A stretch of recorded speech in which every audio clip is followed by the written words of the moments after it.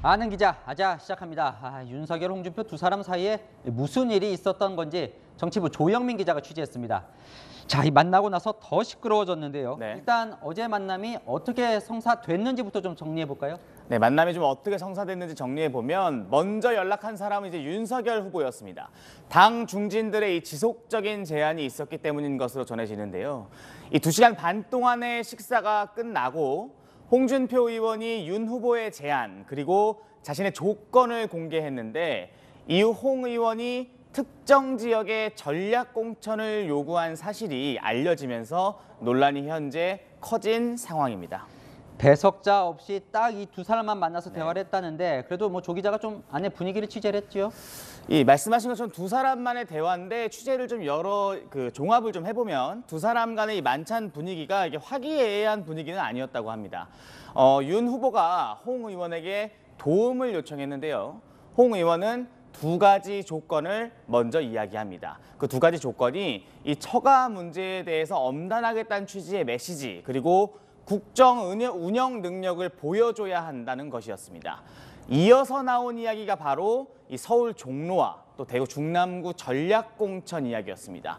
윤 후보는 공천관리위원회를 통한 이 시스템 공천을 강조하는 취지의 이 원론적인 수준의 답변만 한 것으로 알려졌습니다. 그러면 이 홍 의원이 공천 이야기를 꺼내도 윤 후보는 뭐 즉답을 안 했다는 건데 네. 이게 그럼 밤 사이에 어떻게 다 공개가 된 겁니까? 이후 상황을 좀 봐야겠죠. 이 만찬 이후 네. 홍 의원이 이 자신의 이 청년 사이트에 올린 글을 좀 준비했습니다. 이 글을 보면요, 어, 그 앞서 말씀드렸던 여러 가지 두 가지 조건이 있는데 이 여기에는 이 홍 의원이 제안했다는 공천 관련 이야기는 빠져 있습니다. 네. 어, 홍 의원의 공천 요구가 부당하다고 생각했던 일부 의원들이 이 내용을 오늘 아침 기자들에게 알리기 시작하면서 일이 일파만파 커지게 됐습니다. 여기서 이제 시청자 질문이 하나 들어왔는데 네. 답을 좀 주시죠. 네.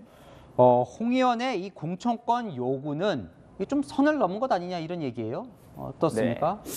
어, 공, 그 공정한 절차를 따르지 않고 특정인을 단수 공천하라고 요구하는 거 좋아 보일 리는 없습니다. 특히 공정과 상식을 강조해왔던 윤 후보 입장에서는 받아들이기 쉽지 않은 제안이고요. 또 선을 넘은 요구라고 느낄 수도 있을 것 같습니다. 아, 그럼 홍 의원은 왜 이 시점에서 이 민감한 공천 얘기를 꺼냈을까요? 어, 홍 의원이 윤 후보에게 이 내건 조건 중에서 다시 좀 기억을 되짚어보면 첫 번째가 국정 운영 능력을 보이라는 것이었잖아요. 네. 이 여러 이야기들을 좀 종합해 보면 이 말의 뜻인 즉슨 주변에 검사 출신들이 너무 많다는 우려를 좀 부식시킬 필요가 있다라는 취지였던 걸로 보입니다. 하지만 홍 의원이 요구한 전략 공천 대상자 두 명 모두 선거 때 홍 의원을 도운 사람들이거든요.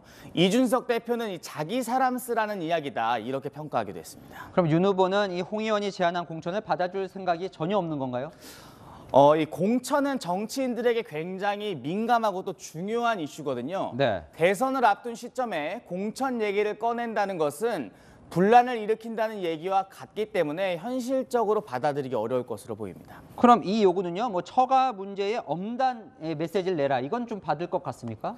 이 문제도 좀 비슷한데요. 윤 후보가 사실 여러 차례 이 가족 일들에 대해서 네. 이 똑같은 잣대, 똑같은 기준을 들이대겠다는 메시지를 여러 차례 던지기도 했고 실제 이런 이야기들 계속 강조해 왔다는 게 이윤 후보 측 설명이기 때문에 마찬가지로 특별한 메시지를 낸다거나 하는 움직임은 없을 것으로 보입니다. 그러면 홍 의원 요구를 이제 다 안 받겠다는 건데 그럼 네. 두 사람은 이제 어떻게 되는 겁니까? 같이 못 가는 겁니까?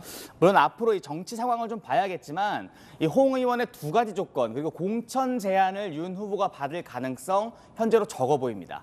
게다가 홍 의원이 종로 전략 공천 하라는 이 최재형 전 감사원장을 윤 후보가 오늘 만났고 이 자리에서 최 전 원장이 종로에 관심 없다라고 하면서 홍 의원 이 면이 안 서게 됐습니다. 홍 의원이 어떤 결정을 내릴지는 좀 지켜봐야 할 것 같습니다. 네, 알겠습니다. 조영민 기자였습니다.